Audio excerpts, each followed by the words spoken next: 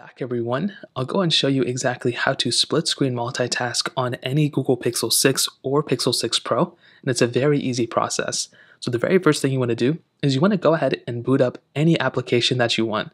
So not every application can be split screen multitask, so keep that in mind, but a majority of them can. So in this case, we have Google Play up, right? And let's say we want to split screen Google Chrome as well at the same time. So you can see I'm not even logged into any of these, but all you want to do is make sure you have the applications up into your little spot into your little multitasking panel. So in order to get there, you pretty much swipe up from the bottom like this, and you can get here. So as long as you have these apps in this situation, then you're pretty much good to go. So let's say we want to start off with Google Chrome. Well, what we want to do is we want to be over this application like this, and then we want to click on the Google Chrome option, which is right up there, and then we'll see this little split screen option right here.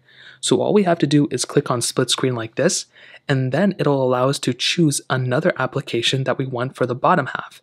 Now at this point, all you have to do is choose the other application by clicking on it like this, and that's pretty much it. We are now into the little split screen multitasking panel, and you can go ahead and use both of these applications as you normally would. If you want to hop out of it, you can hop out of it just like this, and and you can pretty much just drag this little application down like this, and it'll go back into its regular mode. You can also swipe between these applications like so, but that's pretty much it. That's how you split screen multitask. You get into uh, this little panel right here.